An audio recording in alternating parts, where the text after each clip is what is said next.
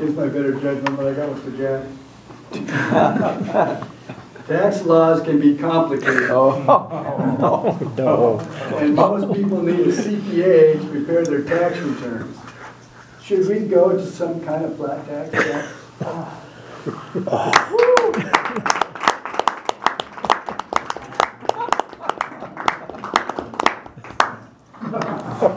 Fuel. Conversation. Mr. Tabletop, Mr. Chairman. My experience with the tax is different than most of yours. You know, I grew up sort of in an entrepreneurial family, and I knew that I would be, either be rich or that I would be poor. I started out with some money that I won running a slush fund when I was in the Navy. You know, that's that payday loan where you loan five dollars out for ten dollars. You know, so that's how I got started. And things went very well. I bought a little home in Pacific Grove, California. And I traded it off for a beautiful house overlooking Monterey Bay. I could see Santa Cruz 40 miles across. Then I got into the restaurant business, and I wound up in Wenatchee, Washington. And I got the carpet pulled out from underneath me.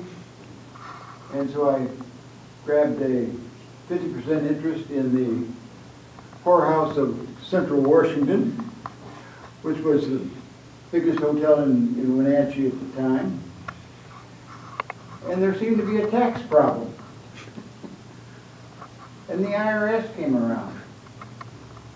So I went to the most prestigious law firm in Wenatchee and said, hey, in business school, in, in college, I learned that I was protected by the corporate shield.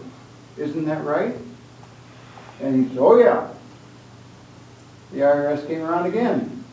I said, I'm protected by the corporate shield. Isn't that right, Mr. Attorney? Absolutely, you're required. But in in countering these, you know, and the egregious mistake was trusting an attorney.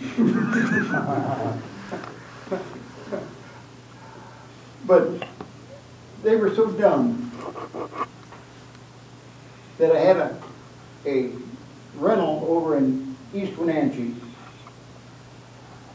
And the IRS agent couldn't find a record of it.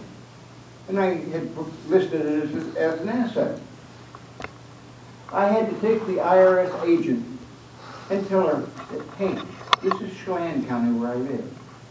That's Douglas County. The real estate records for Douglas County are kept in Douglas County, not in Chelan. But not only that, I went to, shortly afterwards, I went to, since I was then broke, I went to Seattle and joined Toastmasters. And I became area governor. And one of my clubs that I had to visit was the IRS. And I walked into the IRS meeting, there were two seats left. And the room was full, I mean, it was about twice as big as, as our room. And I sat down, and who do you think came and sat next to me? I introduced myself, and he didn't have the foggiest idea who I was. From that moment on, I've had absolutely no respect for the Internal Revenue Service. And it's a egregious mistake if you think that they don't have the power to control your life. Mr. Mr. Chairman.